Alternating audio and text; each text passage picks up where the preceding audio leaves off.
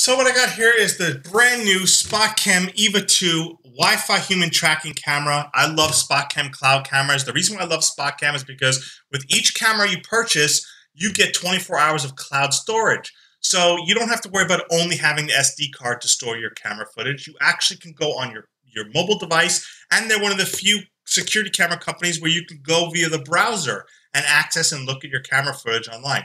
For free, you get 24 hour cloud storage with every SpotCam camera, which I really like.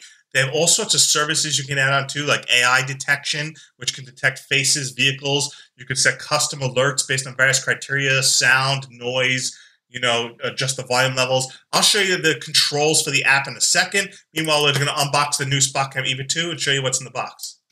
Opening up the box here, the first thing you get is a discount coupon. And you get some foam.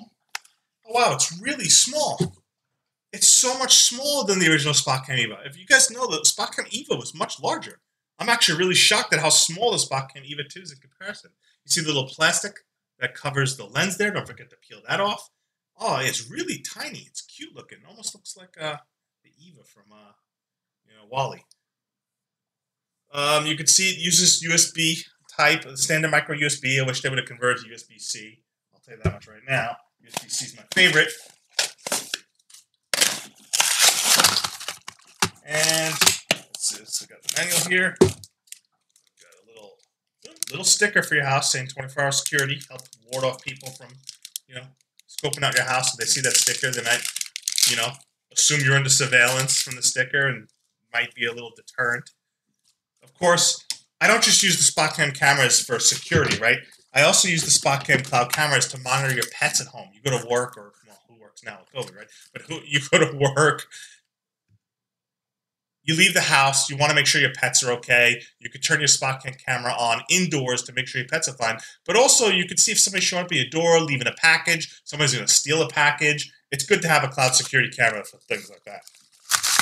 You get the outlet, AC outlet port, and the USB plug. Although I will say, I can tell the cable appears a little short.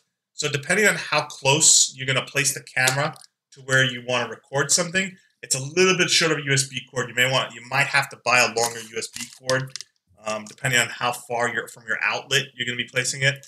And you, instead of using an extension cord, you may just want a much longer USB cord. And you could tie it up with like you know wall clips and whatnot. But that is the SpotCam EVA 2. It is literally so much smaller than the original SpotCam EVA. If I had the original SpotCam EVA, I'd show you just how much smaller the EVA 2 is. I really like the size of it. Um, and it includes what appears to be a wall mount where you can screw this into the wall and have it just like secured into a wall, pointing where you need to point. You can tell by the way the head rotates, it has complete rotation capability and it has some tilt capability as well. You can see with the eye there, which you can control with the app. So we're going to go ahead and showcase that next.